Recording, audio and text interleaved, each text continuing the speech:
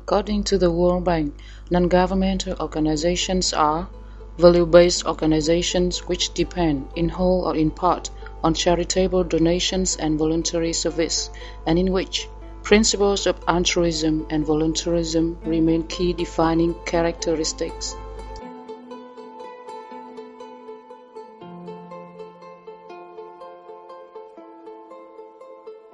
One human being in six now lives in a precarious, and unhealthy, overpopulated environment without access to daily necessities such as food, clean water, and sanitation.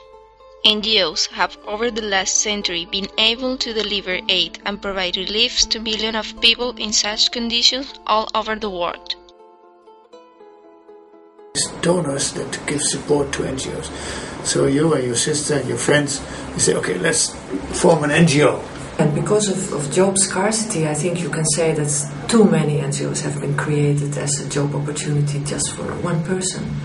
I think the growth of development organization itself is is is a problem. Uh, I mean, we don't even know what number of, of, of, NGOs there are, but what we do know is that for years, people, uh, and certainly in countries that, that are heavily dependent on aid, countries like, like Tanzania, Rwanda, they also look at their own interests, a source of employment, source of income, and I think the number has been driven perhaps more by what people can gain from an NGO, perhaps more than the need itself.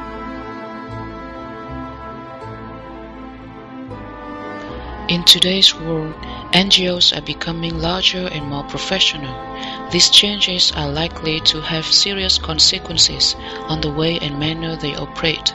Large corporate NGOs will require more funds to run, and their largely non-profit structure means that an increasing amount of funds that are being donated for it will be used to run and maintain these organizations.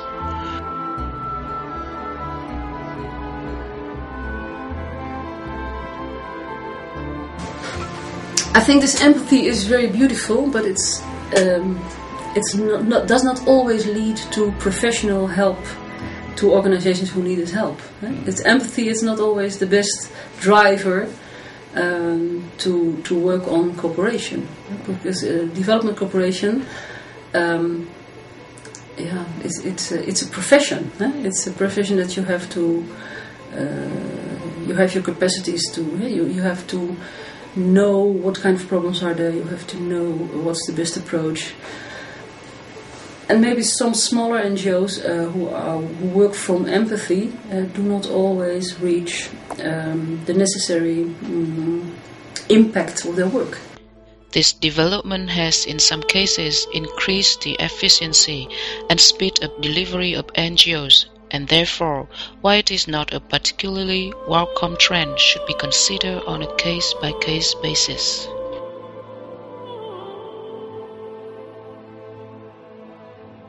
Dutch NGOs uh, are independent, completely independent. They can do what they like. They have their own, in a way of getting revenues. They collect money sometimes from the people, from the public, and they have their own programs.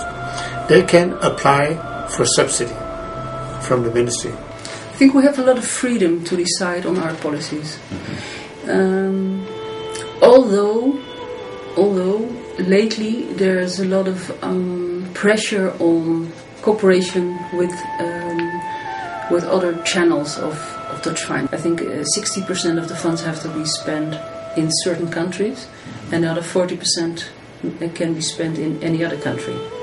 So that, that's that's a restriction. Like for example, we have a contract with the with uh, for our own work with the Ministry of Foreign Affairs. It's a contract for four years. Are very clear conditions, and as long as we fulfill the conditions, there should not be any reason to, to stop the funding. Governments and NGO, NGOs need to collaborate together to reach their common goals. For example, in our case, we feel that we are actually providing a service to the Ministry of Foreign Affairs because the Ministry has signed many different international obligations, conventions, and through our work we help them to, to, to reach those goals. So they don't get money which is free money where they can just look, uh, use their own uh, ingenuity, but it's very much earmarked for very specific projects, and therefore the influence is very direct.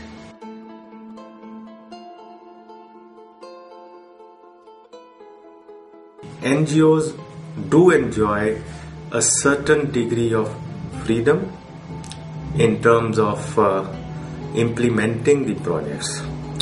Implementation strategies are ours. The, the, the road that we follow is our own road. Goals may be given to us.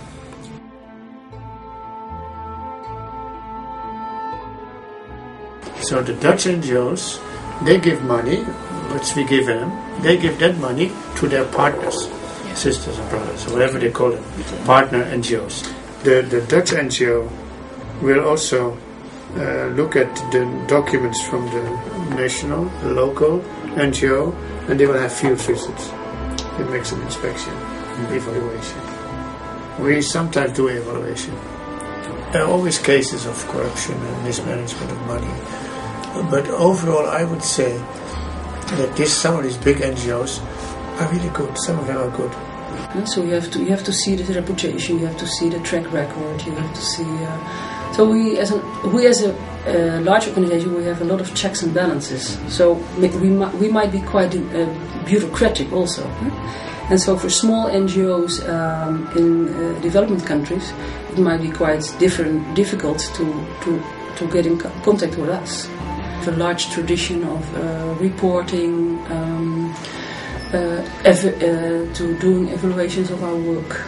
Uh, um, h- half-year reports, yearly reports. We keep our house in order, and we have established our internal rules, and these rules are um, controlled by uh, accountants.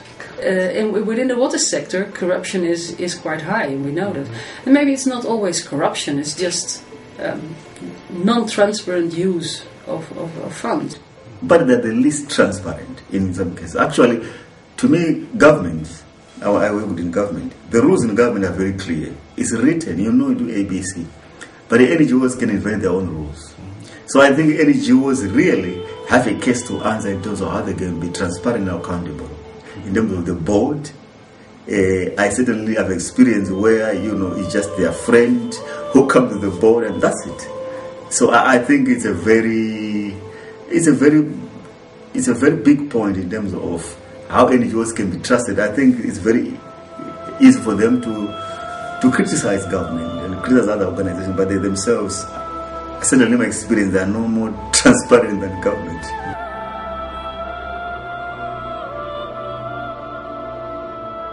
The changes are, are, uh, are a result of the financial economic crisis, the reduction of the gross national product, and because of that, there's less money for the NGOs.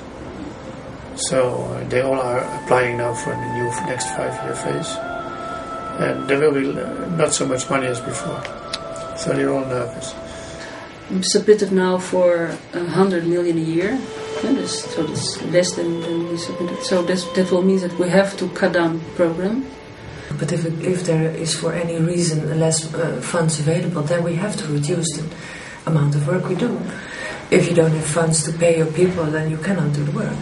that the funding may get reduced, but reducing the funding by the donors should not really mean that we should close down the shop and close down the projects. So if these age stops, then there are no more NGOs. As, as simple as that. Um, whether whether it will affect people, yeah, I think in the in the short term it will affect people. But I believe that in the long term, I think people will, will find a way of coping. There are alternatives, there are practical ways of going about the projects. Uh, and uh, I would say that several non government organizations are now switching over to leveraging local funds. Although there is a general consensus that Dutch Slice NGOs have a fair amount of freedom in conducting their affairs, the act of soliciting and accepting donations from governments adds some constraints to the work of NGOs. These constraints have not manifested fully to a level where government involvement can be seen to be interference. However, the threat is present and must be recognized as such. There should be clear and acceptable guidelines defining, restricting, and regulating government donor involvement in decision making and reducing potential influence over the donor organization.